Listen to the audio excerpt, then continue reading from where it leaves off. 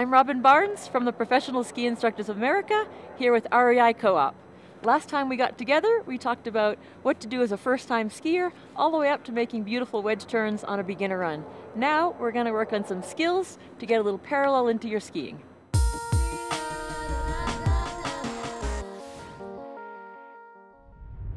Before we move on, I'd like to revisit the importance of skiing in a balanced stance. For more details on that, check out our How to Ski video. Beyond that, the things we're gonna cover are shrinking the size of your wedge, using your legs to turn, rounding out your turns, releasing your edges, and transferring your weight. So the reason we want to shrink the size of our wedge is because if we have a big wedge like this, our skis are going to scrub against the snow a little bit if I shrink the size of it, they're going to glide nicely on the snow and make it way easier to turn. So to shrink the size of your wedge, you're literally just going to bring your legs a little bit closer together so that you have a smaller wedge. Remember your skis will glide a little bit more in that smaller wedge compared to the bigger wedge. So remember to really draw your turn across the hill to control your speed. We want to use our legs to turn our skis. If I try to use my upper body to turn my skis, by the time this movement of turning my shoulders gets down to my skis, it's going to be really late in the turn and I'm going to lose that good balance position that I've developed. So I want to use my legs, they're closer to my skis. Turning my legs is going to give me great stability in my turns. This is what it looks like when I turn my legs without turning my hips and upper body. You can see that my legs twist, but my hips and shoulders aren't.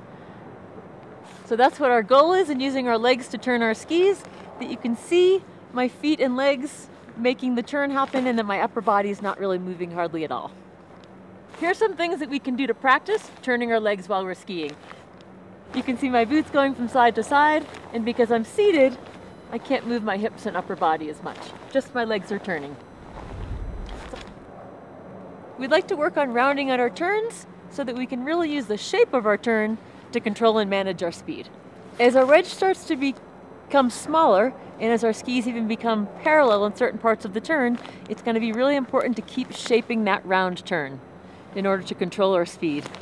It's important to think about having a beginning and a middle and an end of the turn so that we're controlling the speed in all parts of that turn. Whereas before when we had kind of a bigger wedge, the turn shape could be a little bit more in the fall line maybe not quite as rounded. So make sure that has that beginning, that middle, and the end. As your skis are gliding, that's gonna help you really manage your speed to how you want it to be. Releasing your edges is important in all levels of parallel skiing. Particularly in the early phases of parallel skiing, releasing our edges is gonna help us go from a wedge to a parallel position with our skis.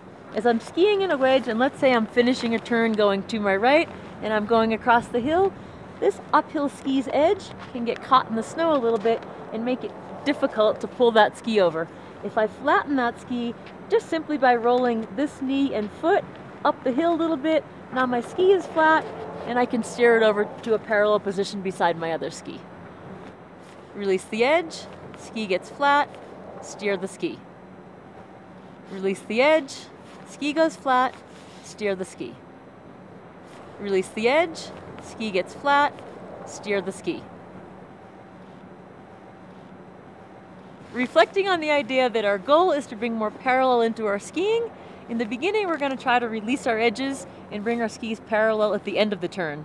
As we get more comfortable, we're going to try to release our edge and bring our skis parallel in the middle of the turn. And as you get more advanced and more comfortable, you'll try to do that to begin the turn so your skis are parallel the whole time.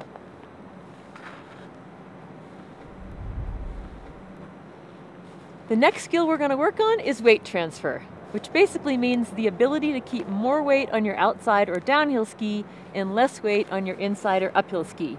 Weight transfer may be a little bit easier than you think. It's a skill we work on every day, just when we're walking as we transfer our weight from one foot to the other foot. In skiing, if my skis are in a wedge, and I basically lighten up that inside ski a little bit, that transfers weight to the outside ski, then I can bring that ski over to parallel much easier this is what it's going to look like. Lighten the inside, weight goes to the outside, steer to parallel. Lighten the inside, weight goes to the outside, steer to parallel. Lighten the inside, weight goes to the outside, steer to parallel. I hope these five skills that we've showed you bring you closer to parallel skiing. Go out and practice, go out and have fun, explore the mountain. I'll see you out there. If you've enjoyed this video, please subscribe to our channel, watch more videos, and learn more cool things.